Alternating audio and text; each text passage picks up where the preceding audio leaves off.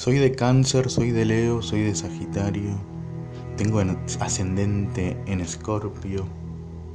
Bueno, como podemos ver, la astrología es parte de nuestra vida. Parece que son energías, los planetas que influyen en nuestra vida y en nuestros comportamientos. Estoy reflexionando sobre lo que podemos ver cuando miramos el cielo cuando vemos las estrellas errantes y que evidentemente influyeron en nuestra vida y en la cultura desde principios de la humanidad. Esas esferas son vestigios de otra dimensión que podemos ver, apenas tenues reflejos, porque, por ejemplo, como en el árbol de la vida, esas esferas de pensamiento que están relacionadas con lo que es arriba y con lo que es abajo y que tienen amplia relación con los chakras, con el cuerpo humano. Es el cuerpo humano y es el cosmos a la vez. Es como la misma visión pero desde dos puntos de vista antagónicos, aunque el mismo a la vez.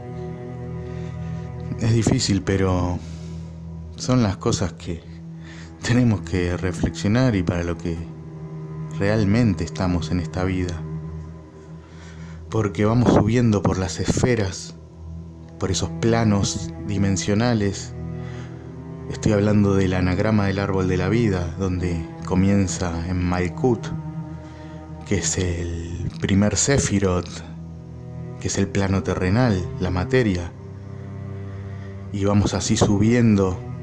No voy a entrar acá en detalle, pero el último es Keter, la corona, que es el trono de Dios.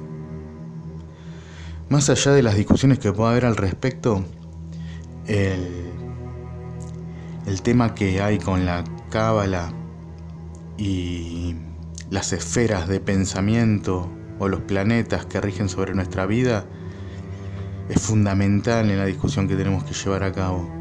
Entender esto es fundamental, porque no vivimos en un mundo material simplemente. Hay todo un universo por descubrir, pero que no tiene necesariamente que ser visto con los ojos físicos. ¿Me entienden a lo que voy? Por eso, no se puede discutir con el que es neófito, el que es ateo, el que solamente concibe la realidad material, el que no puede discutir ni cuestionarse nada que no esté dentro de los cánones oficiales.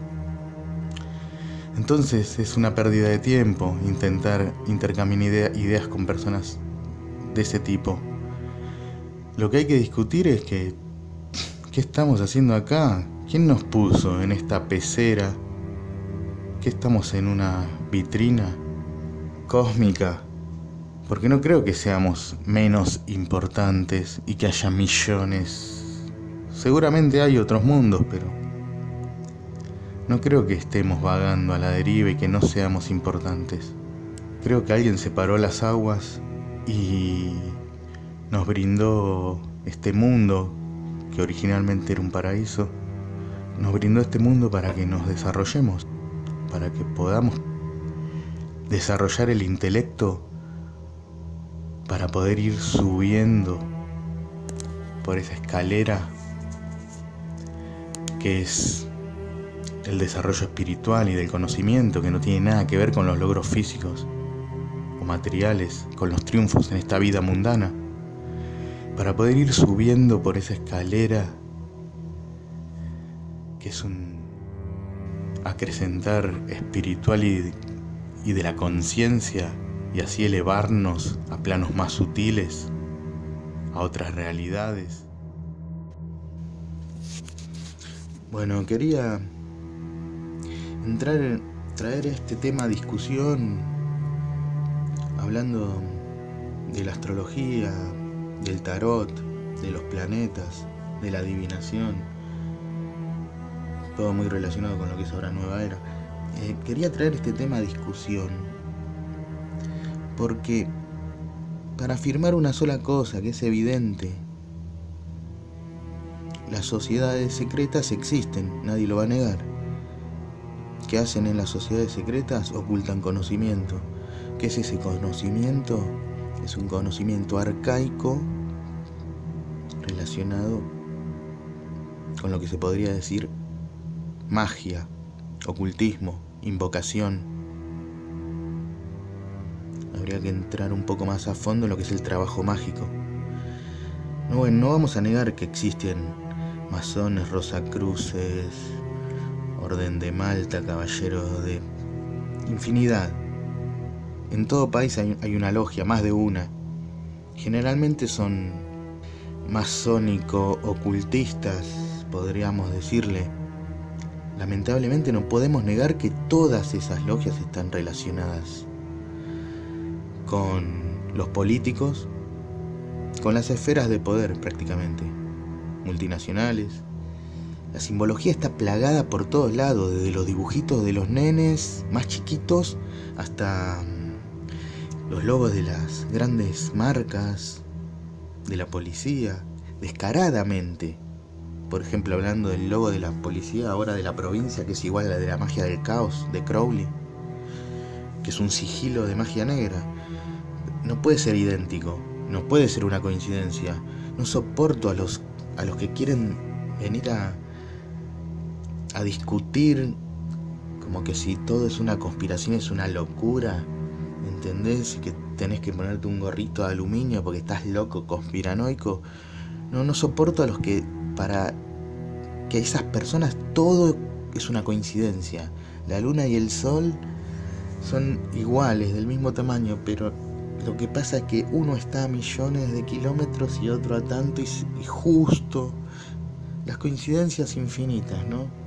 Donde todo coincide casualmente y no te cuestionas nada. Como que te están metiendo te están embaucando mal, pero no, no, pasa nada, no, lo, no, no advertís que hay una trama oculta, un engaño. Todo es una casualidad y así podemos empezar a enumerar millones.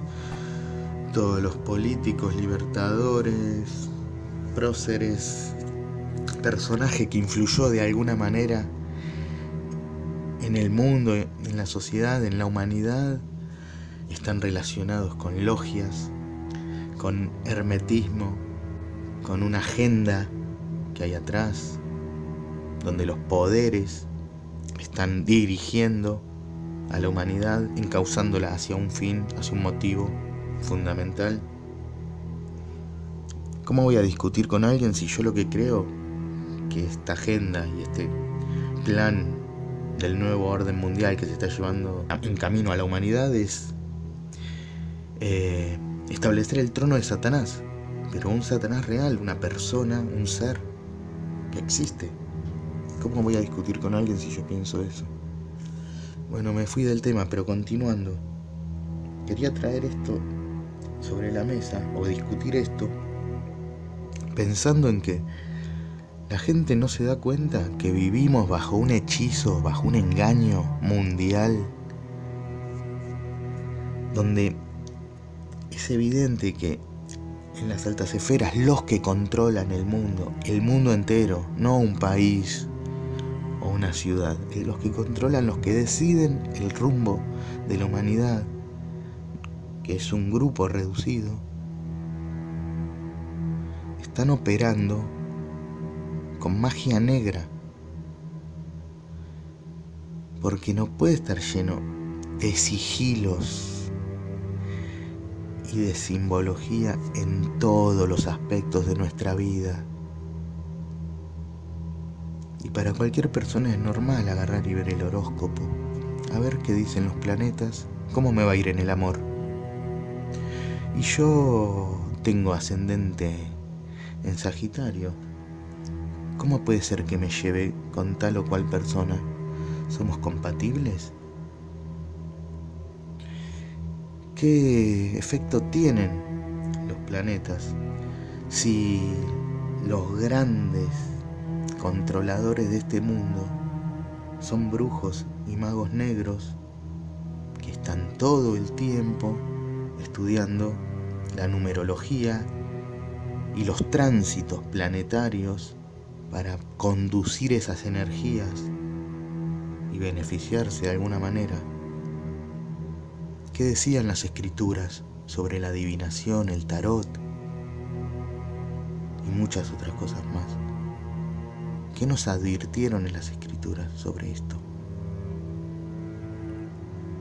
Entonces, ¿cómo vas a discutir con alguien que no ve esto? ¿Alguien lo puede negar? ¿Alguien puede negar la influencia de la masonería? La otra vez estaba mirando un video de Jorge Guerra y el tipo decía que no sabemos nada, no sabemos nada de historia, toda la historia fue falseada. La ciencia también, los, los, los descubrimientos arqueológicos también. Se oculta, se ocultan, no muchas cosas, se oculta todo.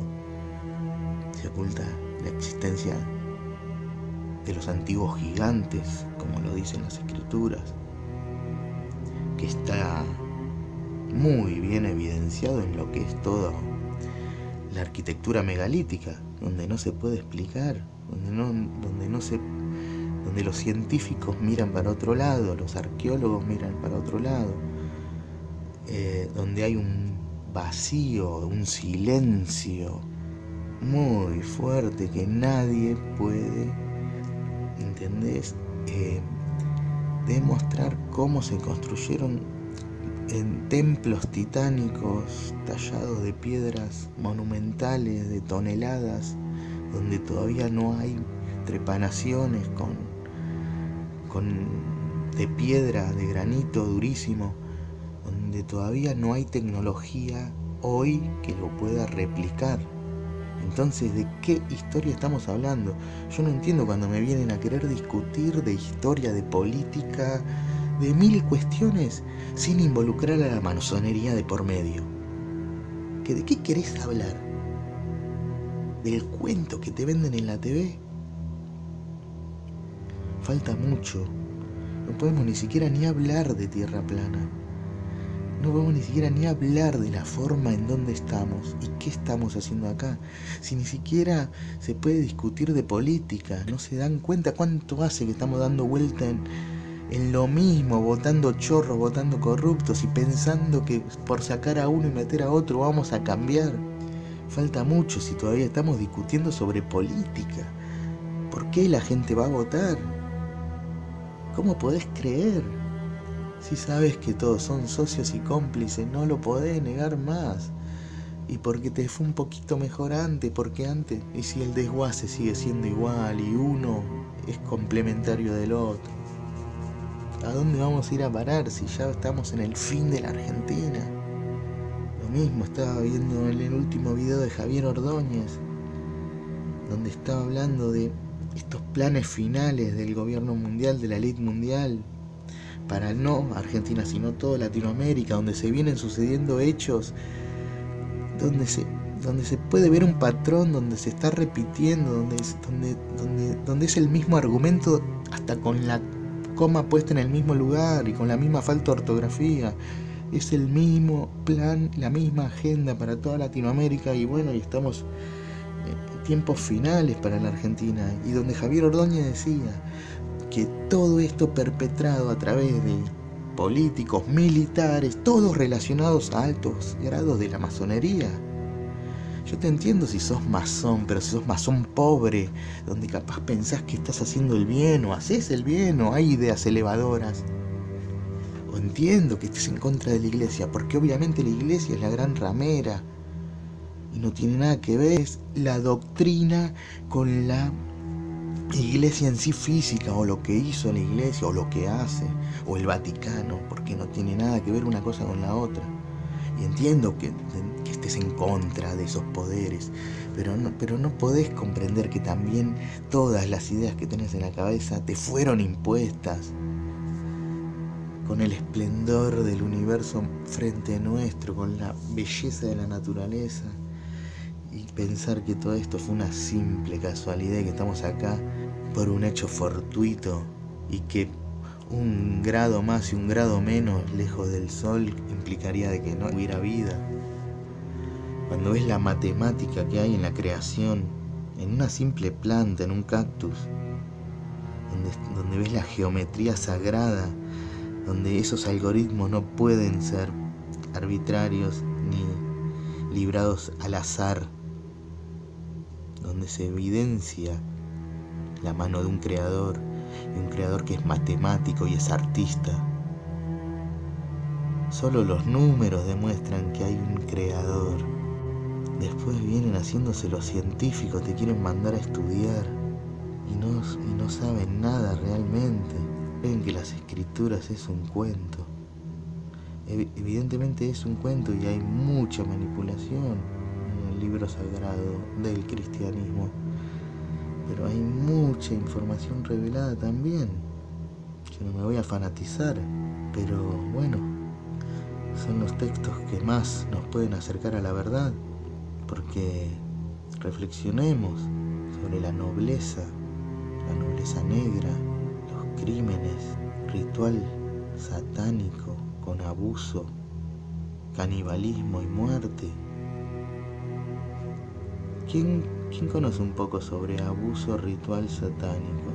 ¿Quién, ¿Quién se anima a debatir sobre el abuso ritual satánico, donde generalmente utilizan niños, no solamente eh, son violados, asesinados, sino que también se beben la sangre y se comen la carne.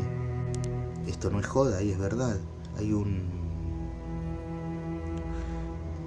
una enzima que se adrenaliniza la sangre. Por eso se utiliza este aspecto ritual para que la víctima esté totalmente desorbitada, fuera de sí. Esto es una realidad, generalmente están involucradas personas que están en el poder. Porque, ¿quién toca el tema del abuso ritual satánico, que es una realidad? Y no es una cuestión de un par de loquitos. Y donde ya te digo, está involucrado círculos pedófilos, donde está la política y la realeza y el Vaticano involucrados. ¿Por qué no hablamos de eso? ¿Quién carajo le sacrifica a los niños si Satanás no existe? ¿Va a salir algún idiota a decir, no, lo que pasa es que son tan ricos, tan millonarios que ya no saben qué hacer? Y el derramamiento de sangre, desde la antigüedad hasta los días de hoy, es un chiste malo, es una cosa de conspiranoico, yo estoy loco, no existe eso. Entonces, ¿cómo podemos debatir con personas que no tienen esto en cuenta? ¿A dónde vamos a ir a parar si no tenemos esto en cuenta? Si es fundamental y es un hilo conductor desde el principio de la humanidad hasta los días de hoy, donde evidentemente una misma casta, que son las mismas familias y donde ellos cuidan mucho ese linaje sanguíneo y de no mezclarlo, que se remonta desde Babilonia hasta los días de hoy.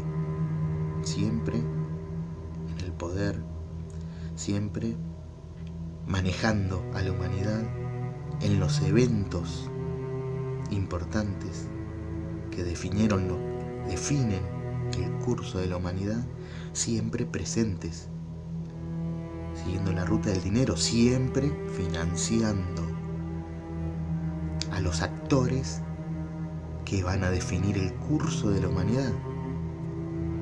Podemos hablar de Mar, de su famoso libro, y hoy cómo está la izquierda fanatizada con estos nuevos cambios de paradigma, en donde atacan fundamentalmente atacan a la iglesia y a la familia.